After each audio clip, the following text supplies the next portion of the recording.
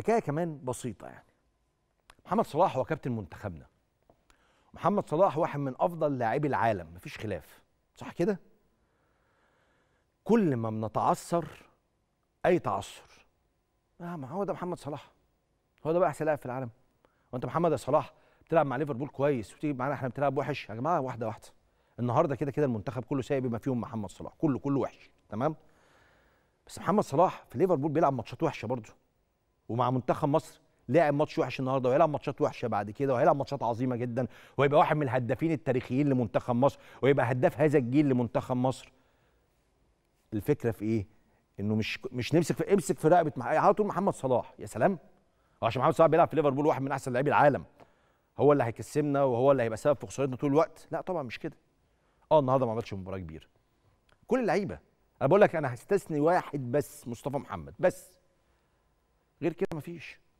كله وحش. كله النهارده قليل جدا. ربنا يعيننا إن شاء الله. إن شاء الله بإذن الله.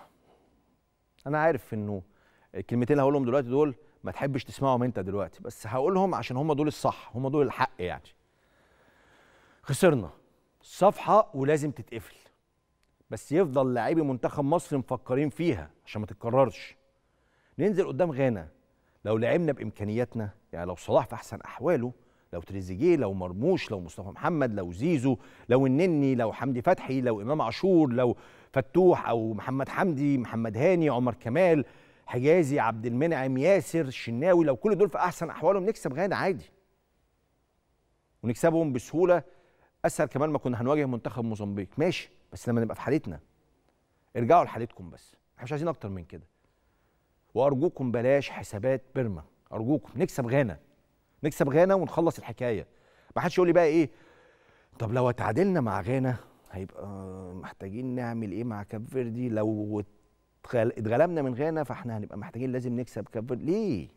أبوس إيديكم. إحنا في مجموعة سهلة. إحنا في مجموعة سهلة. كفاية معاناة. إيه العشق ال... العشق الممنوع ده في المعاناة؟ ليه. تصفيات كأس عالم. أنا بقول لك بس أنا بحكي لك مأساويات حياتي أنا اللي عشتها. ده في اجيال قبلنا عاشوا مأساويات أكتر. تصفيات كاس عالم. نبقى بنلاعب زامبيا نتعادل معاها في افتتاح تصفيات كاس العالم. ليه نتعادل مع زامبيا في استاد القاهرة؟ ليه؟